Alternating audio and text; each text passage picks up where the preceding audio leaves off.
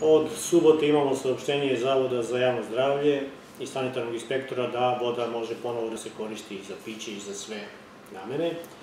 Znači imali smo jednu nedelju sa preporukom, sa zabranom korišćenja i evo posle svega ovoga imao sam potrebe da ipak se ostavnemo na sve te događaje koji su iza nas.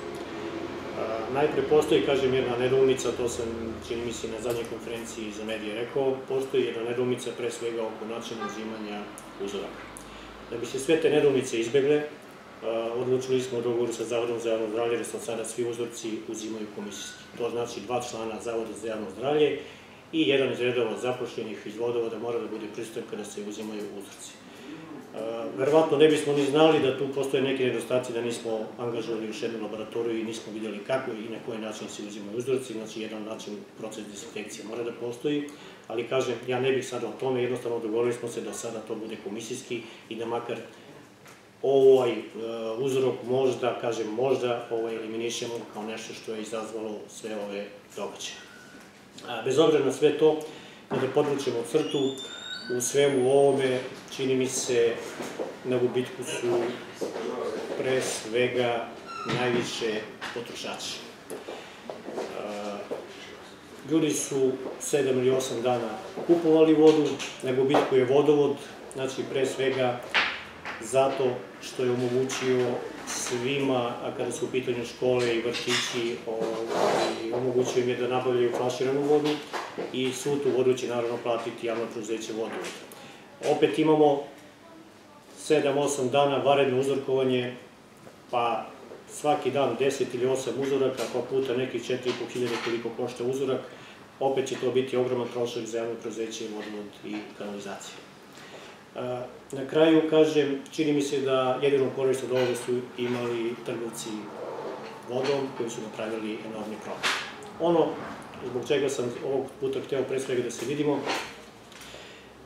i hteo da vam kažem da svo ovo vreme, iako je bila zabrana korišćenja vode za piće, imali smo stvarno enormnu naplatu na blagajnu što možda na neki način ipak pokazuje odnos potrošača prema javnom prezveću vodovod. Znači, čak ni ono neko, kažem, regularno vreme, maja, juna, jula, nismo imali, kažem, tolike uplate na blagajni kao ovih dana.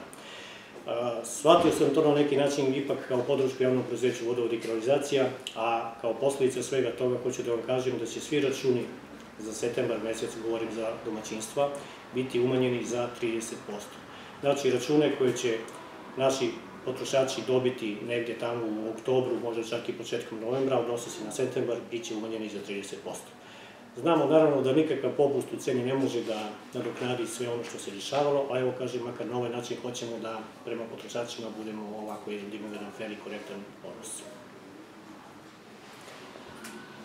Eh, ja bih samo imao jedno pitanje, ovaj, s obzirom da se prošli put onako gotovo nezapaženo provukla konstatacija da je bilo propusta i sa jedne i sa druge strane, tako je rečeno, ako se ne varam, kada je reč o uzorkovanju vode, da li to znači da nije bilo e, razloga da bude zabrane vode zbog e, sistema, vodovodne mreže i svega ostalog izvorišta, već se može posumnjati na to da uzorkovanje nije obavljeno onako kako bi po propisu trebalo da se, ne znam, instrumenti dezinfikuju i sve to, na što je pomalo ovako bilo simptomatična informacija da je na Sarlaku voda neupotrebljiva, a iz tog rezervoara ide u grad gde je voda ispravna, odnosno uzorci su bili ispravni. Pa ja upravo pokušavam u nekoj najblažoj formi upravo da, da te stvari kažem. Znači, u svakom uzorku bilo je 0,5 mg klora po litru, što je gornja granica kada je u pitanju dezinfekcija vode. Znači, propust vodovoda u tome svakako nije, jer smo uredno dezinfikovali vodu. I to je ono što mi u suštini možemo i da uradimo.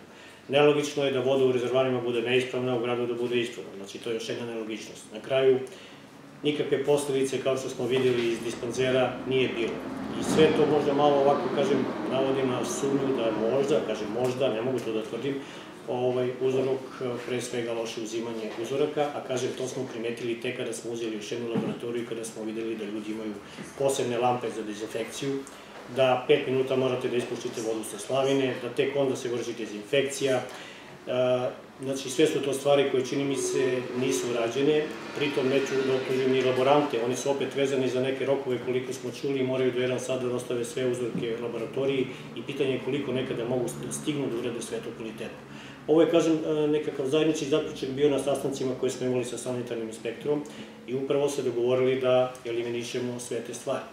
Ono što je vodovod možda nije obezbedio Zavodu za javno zdravlje, to je bilo uzorkovanje sa rezervara Sarlah, gde se voda, opet kažem, na potpuno nepropisan način uzima sa e, površine vode. Mi smo tamo ugradili sada posebno česno slavinu da bi moglo da se kvalitetno i pouzdano uzme uzorak. Znači, na neki način tamo nije bilo tehničkih mogućnosti za uzimanje kvalitetnog uzorka.